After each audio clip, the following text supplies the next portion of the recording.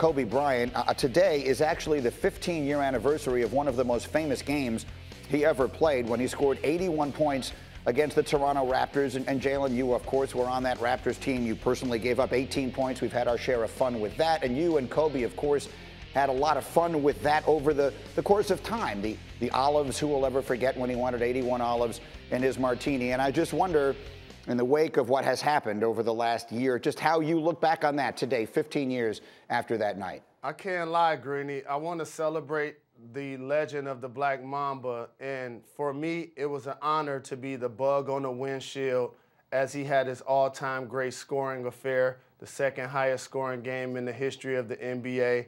I'm glad it was his first time that his grandmother got a chance to watch him play. And all of the great things that come with the Mamba mentality.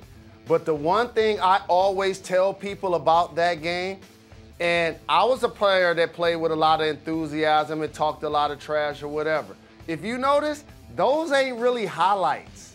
Like, if you ever watch Kobe Bryant play basketball, what you watching right there, those ain't highlights. Mm. That's just him putting in work. And he never talked trash.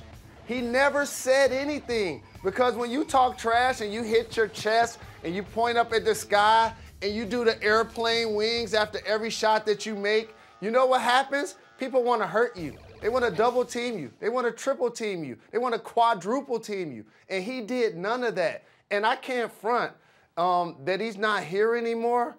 And this is like the, the first time that I guess I've talked about this since his passing.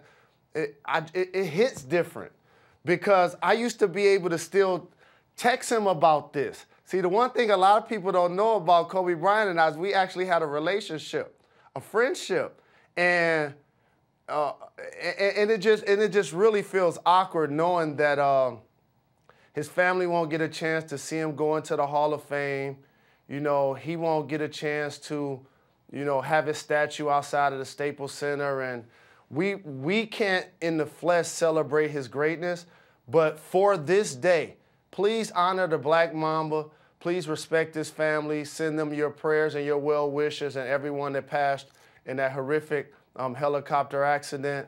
And uh, again, there are going to be a lot of people that speak on the Black Mamba's behalf and represent his legacy.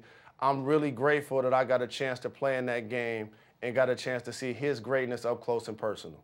It's beautifully said. And I think for all of us, it just looks different looking back on it all now as we approach the one year anniversary of that day. We will talk more about that next week. Jalen, have a great weekend. Thank you. Thanks a lot. Uh, you are the best. And, and we have more NBA action coming your way.